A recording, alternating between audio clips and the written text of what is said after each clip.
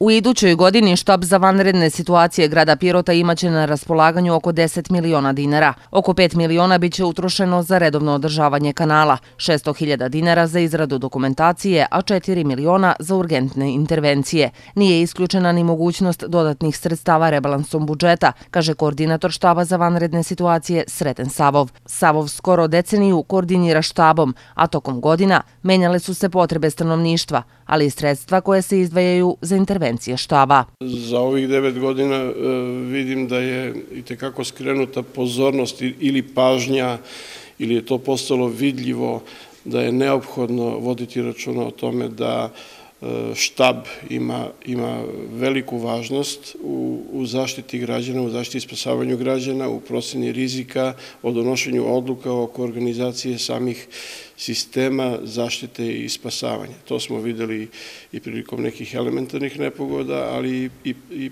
povodom ove pandemije koja evo već još uvek nažalost traje, ali onda kada je bilo najpotrebnije, upravo je štab preduzimao mere da se organizuje e, snabdevanje ljudi, pomoć i tako dalje, sve ono što je potrebno u vidu logistike.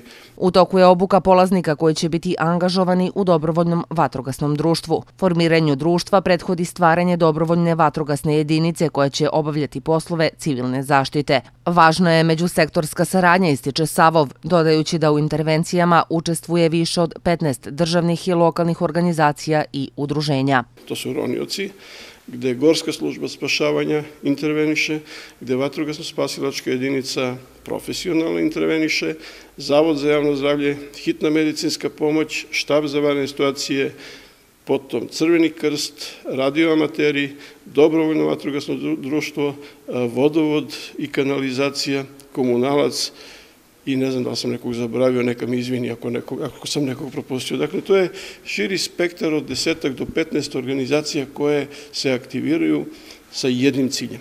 Kritične tačke kao i ranih godina su naselja Rogozi Barije. Zbog dugotrajnih padavina i naglog topljenja snega u ovim naseljima pred izlivanje kanala što dovodi do poplava. Sprečavanje većih šteta moguće je zaustavljanjem protoka vode ispod magistralnog puta i postavljanjem bedema od džakova, kaže Savov.